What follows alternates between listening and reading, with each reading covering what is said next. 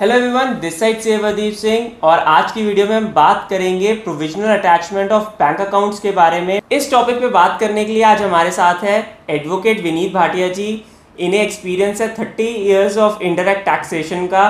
तो आइए चलते हैं इनकी राय लेते हैं कि इस इशू के ऊपर इनका क्या कहना है। Welcome sir thank you sir सबसे पहले हम बात करते हैं प्रोविजनल अटैचमेंट के बारे में। तो ये कौन से सेक्शन के अंडर आता है और किस किस केसेस में प्रोविजनल अटैचमेंट कर सकता है डिपार्टमेंट जहाँ तक प्रोविजनल अटैचमेंट का सवाल है सेक्शन 83 है हमारे सीजीएसटी एक्ट में which provides for provisional attachment और एक पावर दी गई है गवर्नमेंट को कि आप डिमांड को क्रिस्टलाइज करने से पहले भी उसके एसेट्स को अटैच कर सकते हैं. बट क्योंकि ये एक पावर ऐसी दी गई है कि अभी डिमांड क्रिस्टलाइज नहीं हुई है, अभी डिपार्टमेंट ने डिमांड क्रिएट नहीं की गई है तो इस प्रोविज़न को यूज़ करने के लिए there has been certain safeguards which have been provided in the act it और उसके लिए कुछ कंडीशंस हैं। सबसे पहली कंडीशन ये है कि commissioner should be of the opinion that it is in the interest of the revenue and for the purposes of protecting the interest of the revenue attach provisional attachment of bank account is necessary. So first of all the commissioner should be of the opinion that the interest of the revenue has to be safeguarded and therefore provisional attachment has to be done. That is condition number 1 the other condition is that these proceedings can be resorted to only and only if certain proceedings that is under section 62, section 63, section 64, section 67, section 73 or section 74 of the CGST Act are pending against the taxable person. Only in those cases this uh, provision of provisional attachment can be resorted to by the department. Let me tell you, this provision is a draconian provision and should not be used as a matter of routine.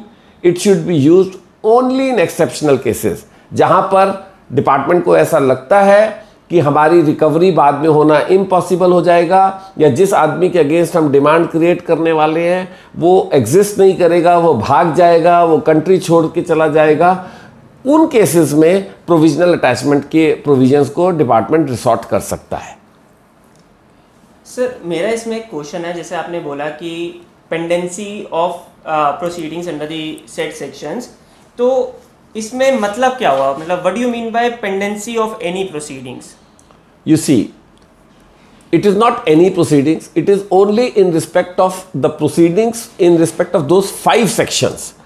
अब वो section अलग अलग situations को deal करते हैं. जैसे section 62 का example ले तो सेक्शन 62 डील करता है assessment of non filers of return तो अगर कोई आदमी बिल्कुल रिटर्न नहीं फ़ाइल कर रहा तो डिपार्टमेंट उसका अकाउंट अटैच कर सकता है। लेकिन उसकी प्रोसीडिंग्स कब पेंडिंग मानी जाएँगी? जब डिपार्टमेंट ने उसको नोटिस दे दिया है और वो नोटिस देने के बाद जवाब नहीं दे पा रहा ऐसे ही सेक्शन 63 डील करता है assessment of unregistered person section 64 deal करता है।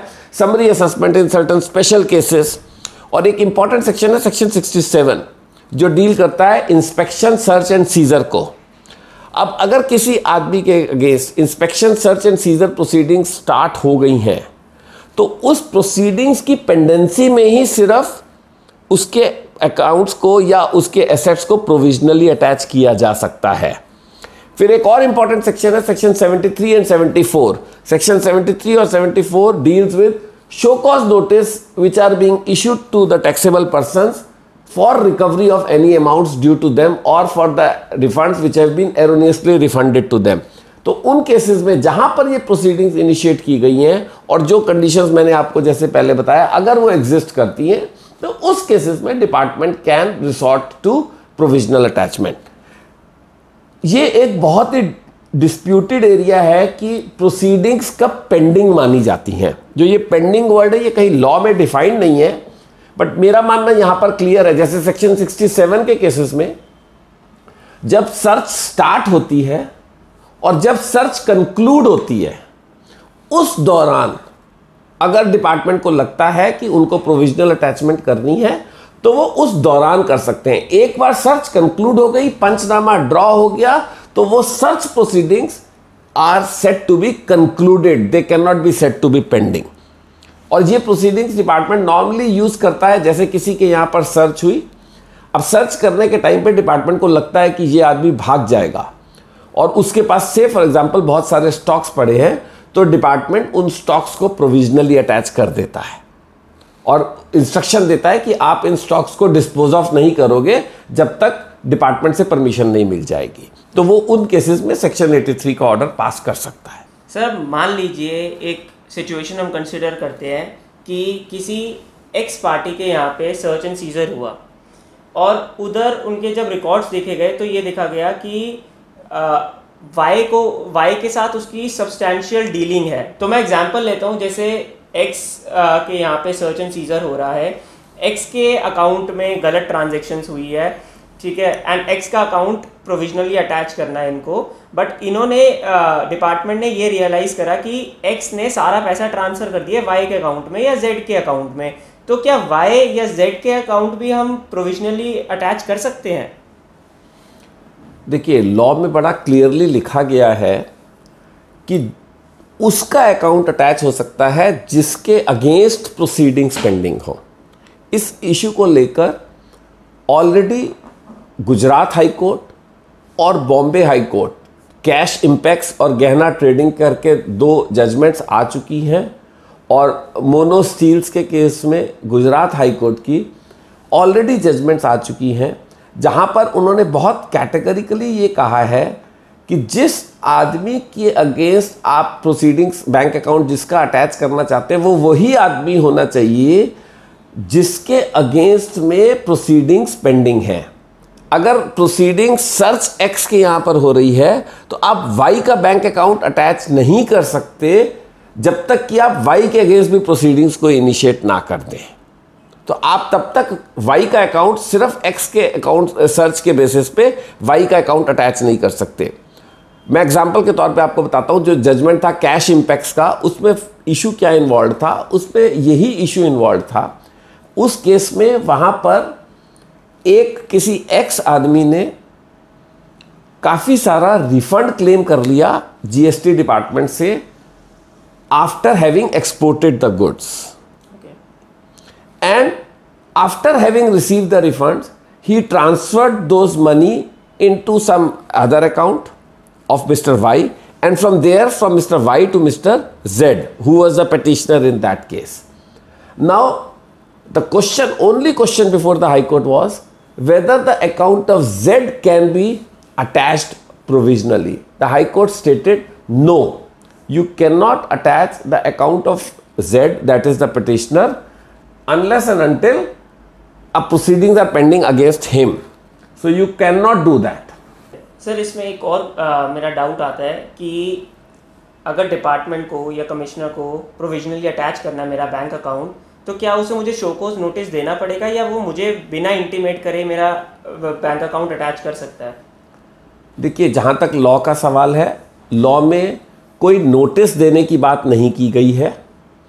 लॉ में straight away bank account attach करने की बात की गई है। और लॉ के मुताबिक डिपार्टमेंट मेरा व्यू ये है कि straight away without giving any notice आपका प्रोविजनली बैंक अकाउंट अटैच कर सकता है। बट एक चीज़ और ध्यान में बताना चाहूँगा यहाँ पे व्यूअर्स को कि ये जो अटैचमेंट है it is valid only for a period of one year sir thank you for your valuable opinions अब मैं एक लास्ट चीज़ पूछना चाहूँगा अगर किसी भी एसएससी का या मेरे क्लाइंट का या किसी और जीएसटी कंसल्टेंट के क्लाइंट का बैंक अकाउंट प्रोविजनली अटैच कर दिया जाता है तो उसे क्या करना चाहिए? देखिए अगर आपका बैंक अकाउंट अटैच कर दिया है डिपार्टमेंट ने, सबसे पहले तो आप ये जानने की कोशिश कीजिए कि क्या कमिश्नर ने कोई ओपिनियन रिकॉर्ड किया है या नहीं। बैंक अकाउंट अटैच करने से पहले ऑल दो लॉ में लिखा नहीं है इन राइटिंग बट यहाँ पर इम्प्लाइड है that that opinion must be in writing and it has to be a objective opinion it cannot be a subjective opinion it has to be some recorded that what was the reason and why the commissioner felt that it is in the interest of revenue to provisionally attach the bank account that must be present in the order sheet and must be present in the file तो सबसे पहले तो आप वो ascertain करने की कोशिश कीजिए कि क्या वो चीज़ डिपार्टमेंट ने करी थी या नहीं करी थी अब एक बार अगर आपके अकाउंट्स अटैच हो गए हैं तो आपको विद इन सेवन डेज़ एक रिप्रेजेंटेशन फ़ाइल करना है डिपार्टमेंट के पास। उसका कोई प्रिस्क्राइब फॉर्मेट नहीं है बट आपको एक रिप्रेजेंटेशन फ़ाइल करना है कि मेरा बैंक अकाउंट या मेरी जो भी एसेट गवर्नमेंट ने प्रोविजनली अटैच किया है, उसको रिलीज़ करने के लिए you need to file an application and if the commissioner is satisfied that yes, the accounts were not required to be provisionally attached, then he may release your bank account by passing an order in form DRC 23. ठीक है sir अब मान लीजिए department ने मेरी application पे भी नहीं रिलीज़ करा मेरा बैंक अकाउंट तो फिर आगे की प्रोसीडिंग्स कैसे होगी देखिए जहाँ तक आगे की प्रोसीडिंग्स का सवाल है आपके पास दो ऑप्शंस अवेलेबल हैं। This order if the department is not passing any formal order this order of attachment and the decision of not releasing the bank account both are appealable orders. So you can file an appeal against the decision of the department to provisionally attach your bank account before the appellate authority. Or if the order passed is beyond jurisdiction or if the order is perverse or bad in law then one can also think of filing a writ petition before respective high court because high courts in many cases have directed release of bank accounts or other assets. Gujarat High Court, Bombay High Court, as I already told you, in the case of Gehna Trading Company, Cash Impacts, Mono Steels, and many other judgments, they have already directed the release of the bank accounts. So, the two options available would be either to file an appeal or to file a writ. Okay, sir. Thank you for your valuable time and valuable opinion on this critical issues. And uh, I hope everyone liked this video. And for more informative and educational videos like this, uh, do subscribe my channel. Thank you for watching my video.